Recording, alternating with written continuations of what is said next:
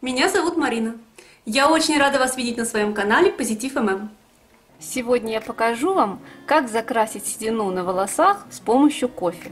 Этот способ подойдет шатенкам, брюнеткам и рыжеволосым девушкам. Все компоненты нашей оздоравливающей, закрашивающей седину маски натуральные и полезные для волос.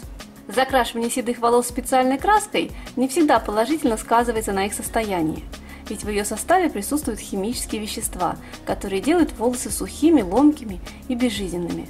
Сегодня же мы всего за 5 минут приготовим натуральную маску, которая закрасит седину. Итак, приступаем. Нам потребуется любой кофе и кокосовое масло. А вы пока подпишитесь на канал. Не забудьте нажать на колокольчик, чтобы первыми узнавать о выходе нового видео.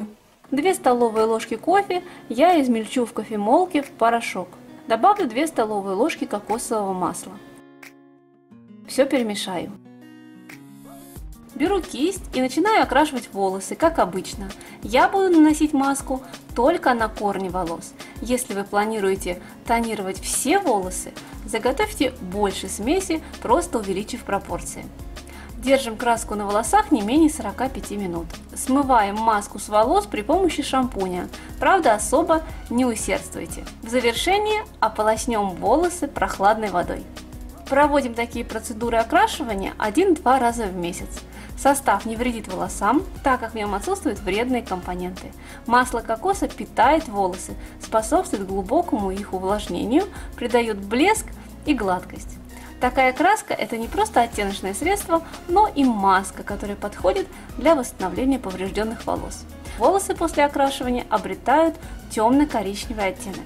Если вы хотите получить более темный оттенок, приближенный к черному, вам нужно добавить в состав маски заваренный черный кофе.